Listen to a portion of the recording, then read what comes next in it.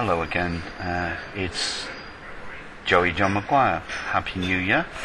Uh, I'm in Hammersmith at the Plough and Harrow, one of my favourite pubs.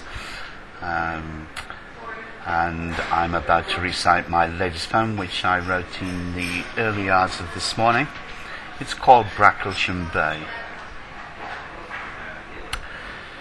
I doubt that you remember that night down Bracklesham Bay. I serenaded you, my beautiful sweetheart, with the gentle words of the desert song, which I'd learned from his master's voice, hidden in the dust of my mother's meager collection of vinyl. We walked the beach hand in hand, for we were lovers, young, naive lovers, the worst kind, and our innocent hearts betrayed our innocence as we believed everything spoken and vowed. We played at being grown-ups, infatuated. We were intoxicated by the hushed, muffled rush from the waves on the incoming tide.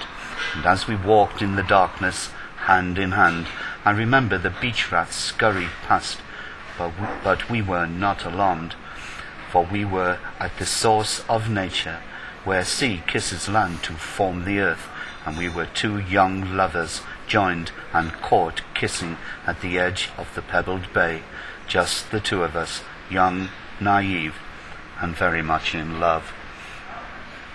I remember your name. It passes on a whisper over my lips at this very moment, and I sometimes wonder if you remember mine, as if you would forget.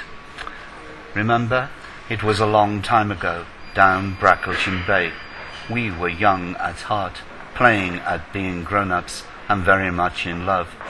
But somehow we came across a scratch in the vinyl, and from that moment on, the waves repeated their beat without us.